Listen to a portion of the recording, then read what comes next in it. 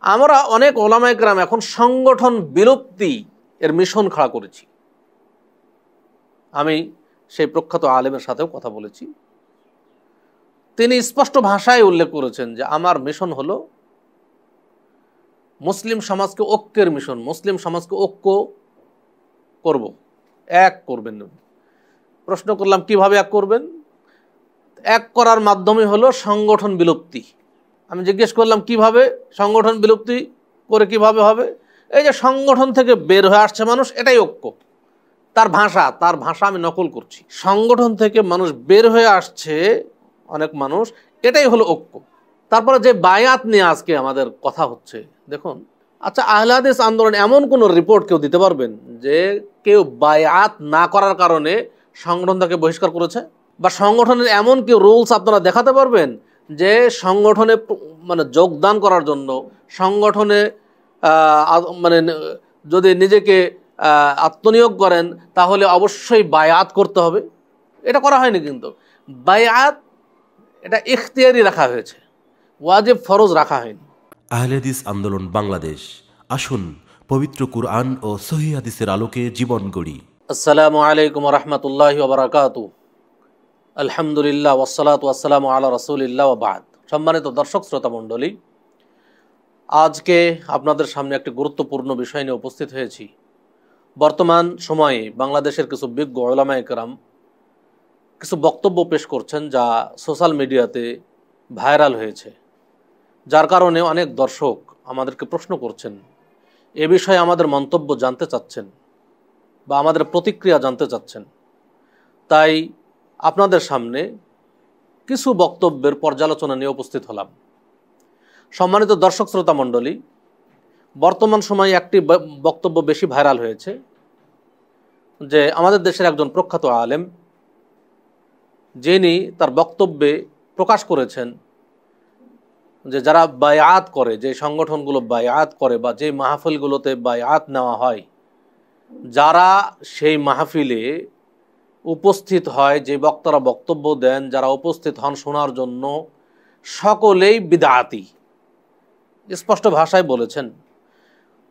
এই বিষয়টি একটু ক্লিয়ার করার জন্যই উপস্থিত হয়েছে আপনাদের সামনে। সম্মানিত দর্শক শ্রোতা মণ্ডলী, আপনারা অবশ্যই বুঝতে পারছেন যে কোন আলেম এই বক্তব্যটি পেশ করেছেন। যেহেতু সোশ্যাল মিডিয়াতে সেটা ছড়িয়ে আছে, আপনারা শুনেছেন অবশ্যই। অনেকেই শুনেছেন অনেকেই হয়তো শোনেননি, ভবিষ্যতে শুনবেন প্রথমে বলতে চাই যে আমাদের প্রত্যেকটি ওলামা একরামের ভাষা সুন্দর হওয়া উচিত। কারণ ওলামা একরামের থেকেই তো মানুষ শিখবেই। যেখানে বলা হয়েছে, আল ওলামা ও ওয়ারাসাতুল আম্বিয়া আলেমরা হচ্ছে নবীদের ওয়ারিস। নবীদের ওয়ারিসটা কিসের? নবী সাল্লাহ আলী হাসাল্লাম যেই এলেম আমাদের মাঝে রেখে গেছেন যে দিন ইসলাম আমাদের মাঝে রেখে গেছেন, সেটাই আমাদের, আমরা এলেম অর্জন করব, সেই এলেম ছড়িয়ে দিব। এটার আমরা ওয়ারিস, কোনো ধন সম্পদের ওয়ারিস নয়। তা আমাদের প্রত্যেকটি ওলামায়ক রামের এই আল ওলামা ওয়ারাসাতুল আম্বিয়ে, এই বক্তব্যটা সামনে রেখে এই হাদিসটি সামনে রেখে আমাদের সামনে পথ মানে সামনে চলা দরকার। বা এই বক্তব্যটিকে সামনে রেখেই অগ্রসর হওয়া দরকার। বর্তমানে বিশেষ করে বাংলার বুকে, বাংলাদেশে দেখা যায় যে একজন আলেম আরেকজন আলেমকে কীভাবে ছোট করবে, কীভাবে লাঞ্ছিত করবে, এই চেষ্টায় আমরা ব্যস্ত থাকি। অথচ এটা ইসলামী শরীয়তে জায়েজ নেই। যদি কারও কোনো বিষয়ে স্পষ্টই ভুল থাকে, থাকতেই পারে, কারণ মানুষ বোঝের ভুল থাকবে, আমারও ভুল থাকতে পারে, আপনারও ভুল থাকতে পারে। কারও যদি কোনো বিষয়ে ভুল থাকেই, তাহলে একমাত্র ইসলাহের নিয়াতে সংশোধন করার চেষ্টা করতে হবে। তারপরে দেখুন এখানে যে ভাষাগুলো প্রয়োগ করা হয়েছে, এটা অত্যন্ত কষ্টের বিষয় আসলে। একজন আলেমের মুখে ধরনের ভাষা, ভাষাগুলো কি প্রয়োগ করা হয়েছে? বলছে যারা মানে এমন ভাষা প্রয়োগ করা হয়েছে সেখানে কুয়ার ব্যাং উল্লেখ করা হয়েছে, যারা এগুলো করেন, তারা কুয়ার ব্যাং ছাড়া অন্যান্য সকল আলেমের বিরোধী বা তারা মূর্খ এই ধরনের ভাষা আমাদের মুখ থেকে বের হওয়া উচিত নয়। তারপরে বলব, যখন যেই বায়াতকে কেন্দ্র করে এই মন্তব্য করা হয়েছে এবং যার, যাকে কেন্দ্র করে এই মন্তব্য করা হয়েছে, যাকে কেন্দ্র করে বলতে আহলাদিস আন্দোলনকে কেন্দ্র করে। আহলাদিস আন্দোলনকে কেন্দ্র করে এই বক্তব্যটা পেশ করা হয়েছে যে এরা বায়াত করে এবং এই কারণে তারা বেদাতি। এরা মানহাজ বুঝে না।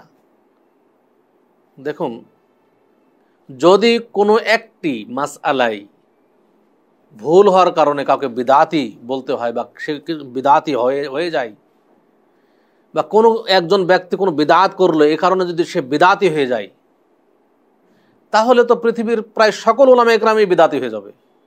কেউ বিদাতি হবে, কেউ মুশরেক হবে। যেমন আপনি মোহাম্মদ বিন সালেহ আল ওসাইমিন রাহেমাহুল্লাহ, বিশ্বের আলোড়ন সৃষ্টিকারী একজন আলেম। তারও দেখবেন যে কিছু কিছু মাসালাই এমন মাসালা দিয়েছেন, যদি আমরা সেগুলো ধরতে যাই তাহলে তাকেও বেদাহাতি বলতে হবে।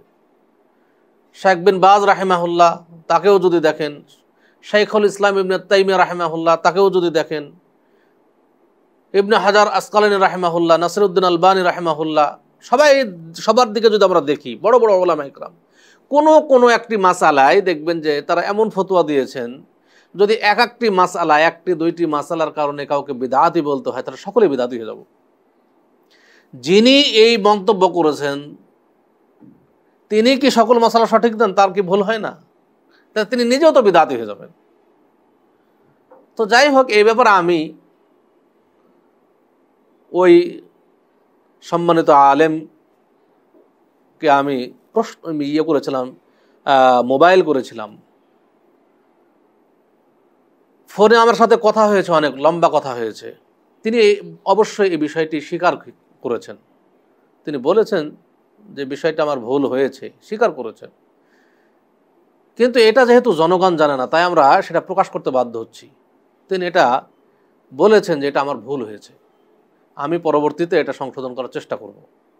সেটা আমার সামনে বলেছেন। তো যাই হোক, তিনি যে তার ভুল বুঝতে পেরেছেন, এজন্য আমরা আল্লাহর অশেষ শুক্রিয়া আদায় করি যে তিনি তার নিজের ভুল বুঝতে পেরেছেন। তিনি সংশোধন হবেন ইনশাআল্লাহ। আপনাদের সামনে হয়তো বা অচিরেই তিনি তার ভুল সংশোধন করে বক্তব্য দিবেন। তার সাথে অনেক আলোচনা হয়েছে। আলোচনার কিছু সারসংক্ষেপ আপনাদের সামনে তুলে ধরতে চাই। তিনি, তেনার সাথে কথা বলে তার সাথে কথা বলে যেই সারমর্ম আমার কাছে প্রকাশিত হয়েছে, সেটা হলো বর্তমানে ওলামা ইকরাম হয়তো একজন আরেকজনের বিরোধিতা করে, এটা তিনটি কারণ আমার কাছে স্পষ্ট হয়েছে। এক, হিংসা। একজন আরেম আরেকজন আলেমকে দেখতে পারি না। ও কেন বড় হবে? ও কেন বেশি পরিচিত হবে?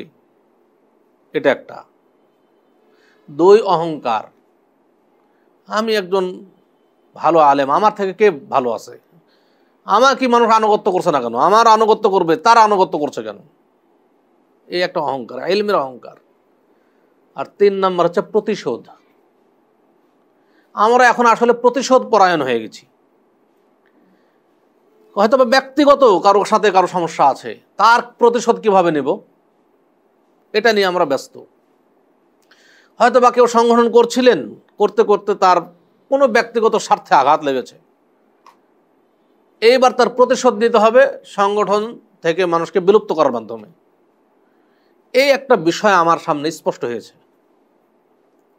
সম্মানিত দর্শক, শ্রোতা মণ্ডলী, আমরা অনেক ওলামায় গ্রাম এখন সংগঠন বিলুপ্তি এর মিশন খাড়া করেছি। আমি সেই প্রখ্যাত আলেমের সাথেও কথা বলেছি। তিনি স্পষ্ট ভাষায় উল্লেখ করেছেন যে, আমার মিশন হলো মুসলিম সমাজকে ঐক্যের মিশন, মুসলিম সমাজকে ঐক্য করব। এক করবেন প্রশ্ন করলাম, কীভাবে এক করবেন? এক করার মাধ্যমে হলো সংগঠন বিলুপ্তি। আমি জিজ্ঞেস করলাম, কীভাবে? সংগঠন বিলুপ্তি করে কীভাবে হবে? এই যে সংগঠন থেকে বের হয়ে আসছে মানুষ, এটাই ঐক্য। তার ভাষা তার ভাষা আমি নকল করছি। সংগঠন থেকে মানুষ বের হয়ে আসছে, অনেক মানুষ এটাই হলো ঐক্য। আপনাদের বিবেকের কাছে প্রশ্ন, এটা কি কোনো ঐক্যের মানদণ্ড যে সংগঠন থেকে বের হয়ে আসছে মানুষ? এটাই ঐক্য। এটা কি স্বাভাবিক মানুষের বিবেক সাপোর্ট করবে? একজন বিবেকবান বিবেক একজন বিবেকবান মানুষের বিবেক কি সাপোর্ট করতে পারে এটা? জি না। সংগঠন একটা ঐক্যবদ্ধ জামাতকে সংগঠন বলা হয়। সেই সংগঠন থেকে মানুষকে বিচ্ছিন্ন করবেন আর বলবেন যে বিচ্ছিন্ন করাটাই ঐক্য। এটা আসলেই বিবেকবান বিবেক মানুষের বিবেক সায় দেবে না। সম্মানিত উপস্থিতি, আরও একটি কারণ খাড়া করেছেন। সংগঠন বিলুপ্তি কেন করতে হবে? তার কারণ হলো, তিনি উল্লেখ করেছেন যে সংগঠনে নাকি ভ্রাতৃত্ববোধ নাই। সংগঠনের মধ্যে যদি ভ্রাতৃত্ববোধ থাকে, তাহলে সকল ওলামা একরামকে দাওয়াত দিবে এবং যে যেখানে দাওয়াত দেবে সেখানে উপস্থিত হবে। যেহেতু ও ভ্রাতৃত্ব নাই, সেহেতু সকলকে দাওয়াত দেওয়া হয় না বা সংগঠনে, তার ভাষা হলো সংগঠনের বাইরের কোনো আলেম এর থেকে কোনো উপকার লাভ করা হয় না। এটা আমি বলব যে দেখুন, আপনারা দেখেছেন আমাদের তাবলিগ ইজতেমাই। সেখানে অনেক ওলামাইকরাম উপস্থিত হন, যারা সংগঠন করেন না। যেমন উদাহরণস্বরূপ বলতে পারব, ডক্টর ইমাম হুসাইন, প্রফেসর মুখতার আহমেদ সাহেব, তারা এই সংগঠন বক্তব্য দিয়েছেন ইজতেমাতে এসে। এবং আরও ওলামাইকরামকে দাওয়াত দেওয়া হয়েছিল, তারা আসতে পারেননি।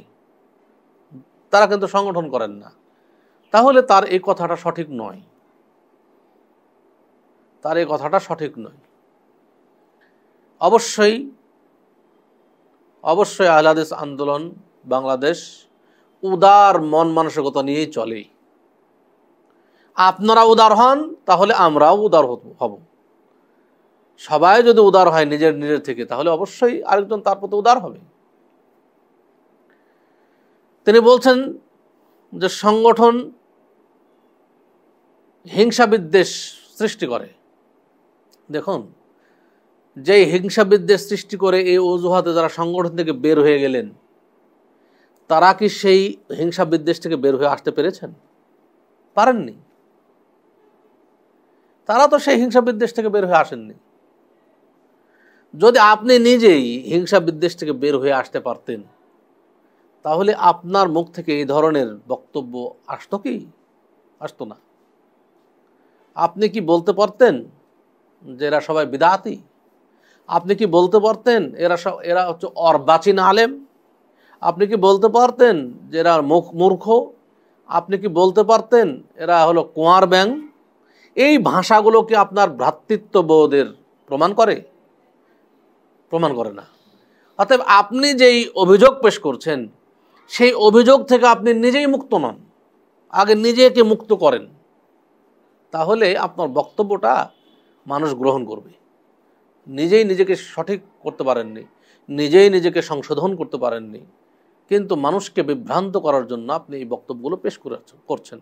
শুধু আপনিই নন, আরও যারা এই বক্তব্যটি সবার জন্য, আমার জন্য, আমার নিজের জন্য এই বক্তব্য। যে আমি নিজেকে যদি সংশোধন করতে না পারি, তাহলে আমার বক্তব্য মানুষের মধ্যে কোনো আসার পড়বে না, প্রভাব ফেলবে না। অর্থাৎ আমাকে আগে সংশোধন হতে হবে। আমি যে বক্তব্যটি দিব, সেই বিষয়ে আমাকে আগে ক্লিয়ার হতে হবে। তারপরে মানুষ গ্রহণ করবে সেটা।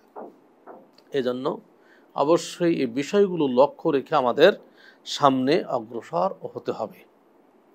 আর একটি কারণ তিনি উল্লেখ করেছেন, সংগঠন করা হারাম। এর একটা কারণ উল্লেখ করেছেন। সেটা হলো যে মোহতারাম আমির জামাত প্রফেসর ডক্টর আসাদুল্লাহ গালিব, তিনি সংগঠন করার কারণে জেলে গেছেন। এটাই সংগঠন হারাম হওয়ার জন্য যথেষ্ট। তার ভাষা আচ্ছা জেলে যাওয়া কি সংগঠন হারাম হওয়ার জন্য যথেষ্ট হয়? এইটা দেখেন, আপনারা নিজের বিবেক দিয়ে চিন্তা করবেন। তার মুখের ভাষা নকল করলাম। যে জেলে যাওয়াটাই নাকি সংগঠন হারাম হওয়ার জন্য যথেষ্ট, জি না? আজকে যদি সংগঠন করে হকের পথে না থেকে বাতিলের সাথে আপোষ করতো, তাহলে জেলে যেত না। তাহলে বাতিলের মোকাবেলা করতে গিয়ে, হকের উপর অটল থাকতে গিয়ে জেলখানে যেতে, জেলে যেতে হয়েছে। সংগঠন করার কারণে জেলে নয়, বাতিলের সাথে আপোষ না করার কারণে জেলে যেতে হয়েছে। হকের ওপরে অটল থাকার জন্য জেলে যেতে হয়েছে। অতএব আপনার বক্তব্য সঠিক নয়। যারা এই বক্তব্যগুলো পেশ করছেন, এই বক্তব্যগুলো আসলে সঠিক নয়। অতএব এই বক্তব্যগুলো থেকে বিরত হন। আমাদের কাজ করা দরকার নিজেই, ভালো কাজ করার দরকার। ভালো কাজের প্রতিযোগিতা করা দরকার। আমরা বর্তমানে ওলামায়করাম হয়েছি যে কে কার পেছনে কে কি করল না করল তার পেছনে লাগা। এটা করলে তো আপনি নিজে নিজে ভালো কাজ করতে পারবেন না। নিজে ভালো কাজ করার জন্য অবশ্যই আমাকে ভালোর দিকে অগ্রসর হতে হবে। মানুষ কি করল, তার পিছনে না পড়ে নিজে ভালো কাজ বেশি বেশি করার চেষ্টা করতে হবে। তাহলেই বেশি ভালো কাজ হবে। তা আপনি সংগঠনের, যারা সংগঠন বিরোধী বা সংগঠন বিলুপ্তির মিশন নিয়ে মানে মাঠে নেমে নেমেছেন, তারা যদি এগুলো না করে, নিজে নিজেই ভালো কাজ করেন।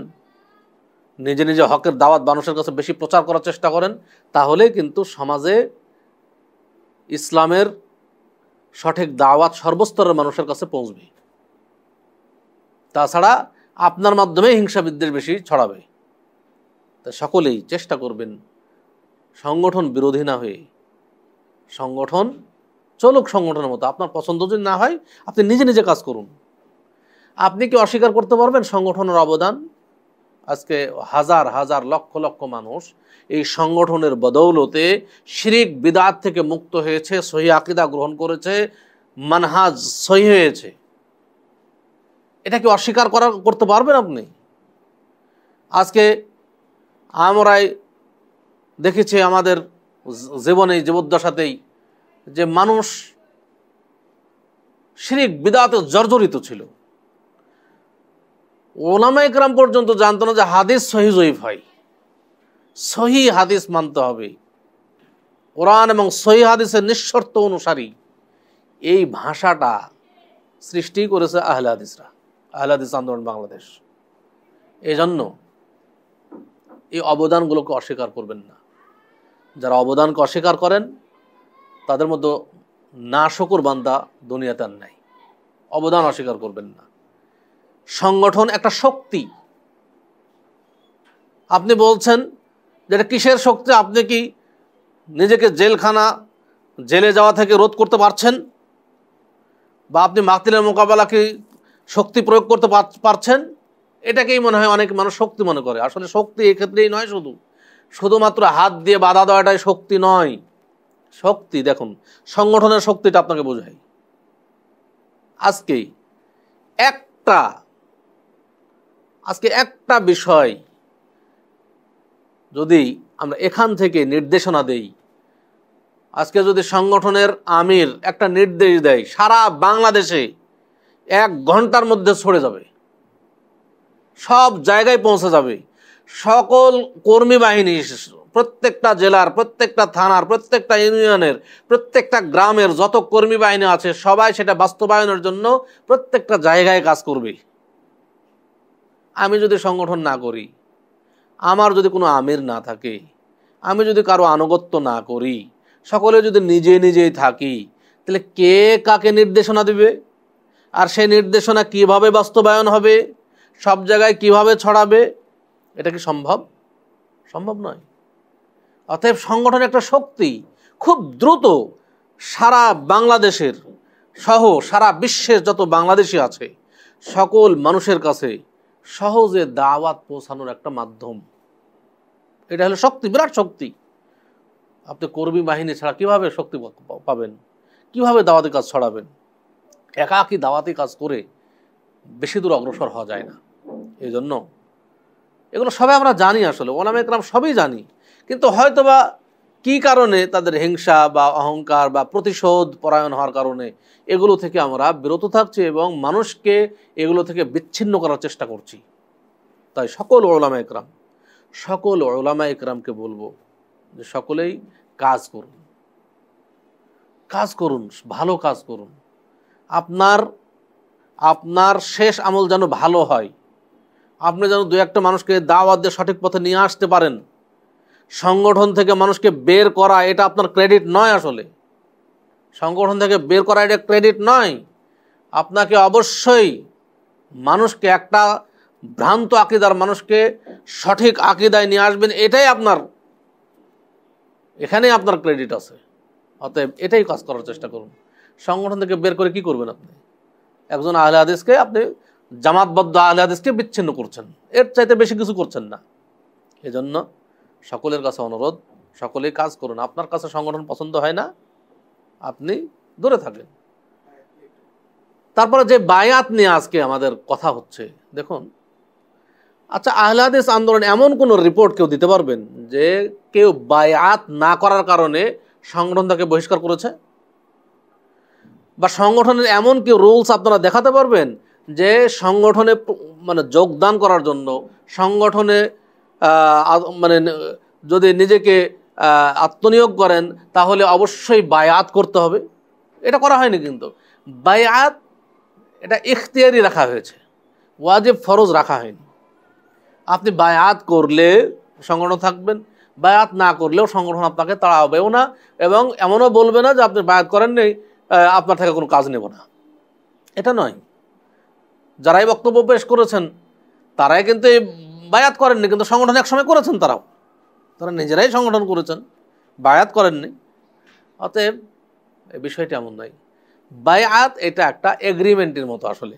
সংগঠনের যে বায়াত, এটা এগ্রিমেন্ট আমরা যে কোনো অফিসে যখন চাকরি করি, তখন একটা এগ্রিমেন্ট হয়। এগ্রিমেন্টে স্বাক্ষর করতে হয় যে আমার অফিসে চাকরি করতে গেলে এই এই শর্ত মেনে চাকরি করতে হয়। এখানেও কিন্তু একটা এগ্রিমেন্ট এই সংগঠনে যোগদান করতে গেলে একটা এগ্রিমেন্ট তোমার মিথ্যা কথা বলা হবে না, তোমার অন্যায়, পাপাচার লিপ্ত হওয়া হবে না, এই একটা এগ্রিমেন্ট অন্য কিছু নয়। অতএব এগুলো নিয়েও নয়। তারপরেও দেখুন, বায়াত যে করতে হবে, বায়াতের একটা গুরুত্ব আছে ইয়েতে, ইসলামে। এখন সমস্যা হলো, বায়াত কি জাতি, সংঘ অনুমোদিত রাষ্ট্রীয় বায়াত, না সাংগঠনিক বায়াত সাংগঠনিক বায়াত? এটা নিয়ে মতভেদ। এটা একটা ইজতেহাদি বিষয়। এটা একটা ইজতেহাদি বিষয়। অর্থাৎ এই বিষয়ে যদি কেউ একদিকে যায়, তাহলে তাকে বিদাতি বলে দিতে হবে, এটা নয়। বরং যদি ভুল হয়, আসলে ভুল সংশোধন করার উপায় আছে। ভুল সংশোধন করতে হবে। ভুল থাকতেই পারে, ভুল হতেও পারে। অতএব সংশোধনের উপায় আছে, সংশোধন করতে হবে। এজন্য এই বিষয়গুলো নিয়ে এত মাথা নষ্ট করার প্রয়োজন নেই। আমরা সকলেই সঠিক দিনের দাওয়াত মানুষের সামনে সর্বস্তরের মানুষের মাঝে পৌঁছে দেওয়ার চেষ্টা করব। আল্লাহ তালা আমাদের তৌফিক দান করুন। আমিন। এই বলে আজকের সংক্ষিপ্ত আলোচনা এখানে শেষ করছি। আকুল কাউলি হাদা ও আস্তাকফিরুল্লাহ আলী ওয়ালাকুম আলী সারিল মুসলিমিন ফাস্তাকফিরু ইন্নাহু ওয়াল গফুর রাহিম। আসসালামু আলাইকুম রহমতুল্লাহি